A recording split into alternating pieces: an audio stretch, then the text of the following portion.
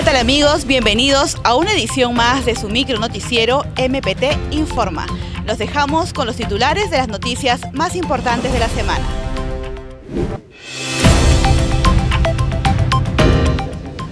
Municipalidad de Tacna reconoce a bandas del Ejército y Policía Nacional al conmemorarse el Día Internacional del Músico.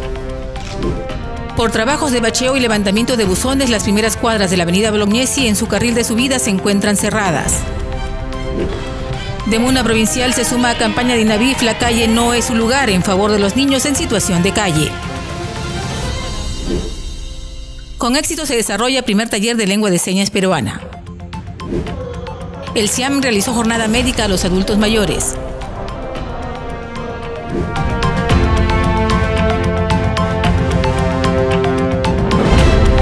En conmemoración al Día Internacional del Músico, que se celebra el 22 de noviembre, la Municipalidad Provincial de Tacna reconoció este viernes a las bandas de música de la Tercera Región de Caballería y de la Región Policial de Tacna por su destacada labor y servicio a la música nacional y tacneña.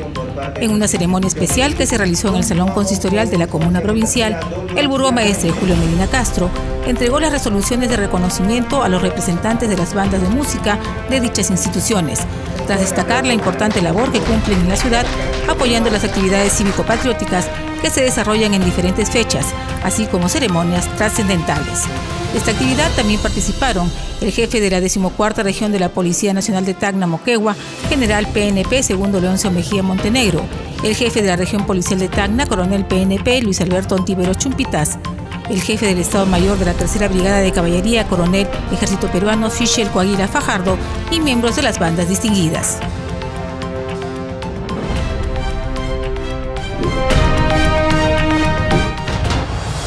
Continuamos con los trabajos preliminares del proyecto Reparación de la Calzada Iberma de la Avenida Bolognesi.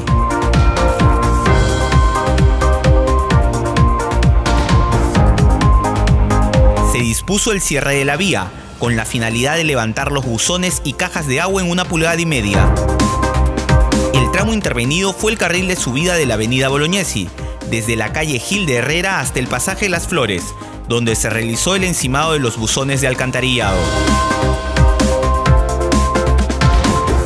Por otro lado, iniciamos los trabajos de bacheo profundo en la primera cuadra, para lo que fue necesario el cierre del tramo de subida desde la intersección con la calle Arica hasta la intersección con la avenida Billinghurst. La desviación se dispuso tanto por la calle Arica y Coronel Bustíos como por la calle Bolívar.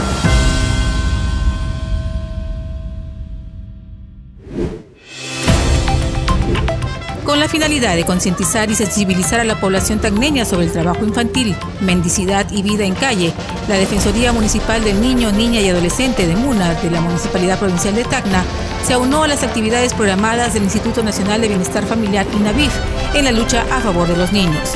Precisamente la encargada de la Nemuna de Tacna, Norma Mendoza, dio conocer que se busca la toma de conciencia también de las familias que deben proveer a los niños de un entorno adecuado, ya que deberían estar estudiando y jugando en vez de estar expuestos a los peligros que significa que estén permanentemente en las calles.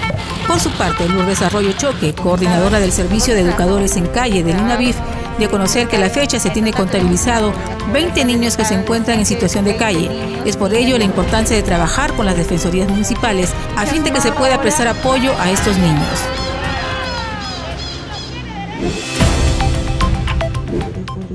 Más de 50 personas se encuentran recibiendo capacitación en lengua de señas peruana, actividad promovida por la Oficina Municipal de Apoyo a la Persona con Discapacidad OMAPET de la Municipalidad Provincial de Tacna.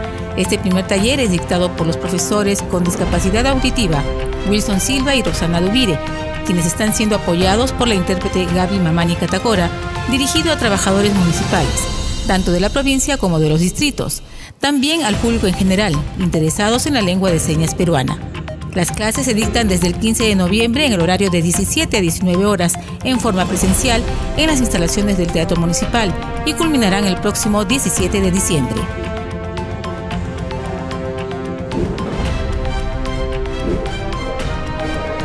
Un total de 40 presidentes de los comités de adultos mayores participaron de una jornada médica programada por el Centro Integral del Adulto Mayor CIAM de la Comuna Provincial de Tacna.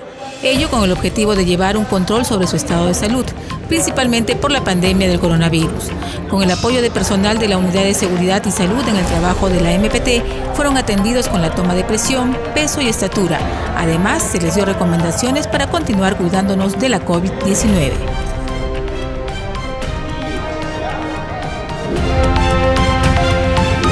Y estas fueron las noticias más importantes de la semana. Nos encontramos nuevamente en una próxima edición de su micro noticiero MPT Informa.